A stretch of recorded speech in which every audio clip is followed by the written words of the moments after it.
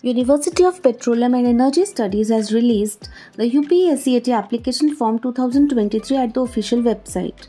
Interested candidates can now fill UPES BTech application form at upes.ac.in.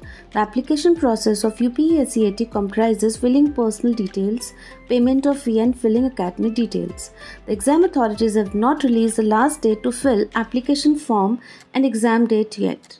Applicants are advised to fill all the details in the application form carefully as authorities will not provide any correction facility after conclusion of registration process.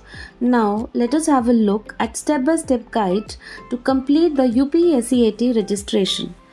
Candidates first need to fill their personal details in the registration form. Applicants need to fill their name, date of birth, gender, state of residence, mobile number, email ID, college details, and others. At the end, candidates need to select the preferred course. After checking all the details, candidates need to verify the mobile number. Click on the Submit tab.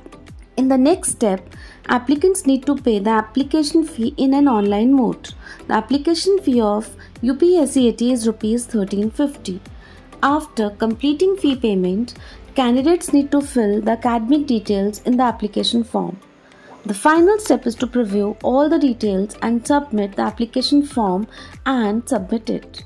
In case of any difficulty while filling application form, candidates are advised to exam authorities at helpline number plus 9118001028 For more details and important links, candidates can check the description box below. Thank you.